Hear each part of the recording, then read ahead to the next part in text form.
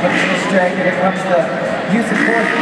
One-handed takeoff backflip on the super kicker. He took off with one hand. Don't think you guys saw that one. Nice backflip cliffhanger. He's already having his first run. Already having his.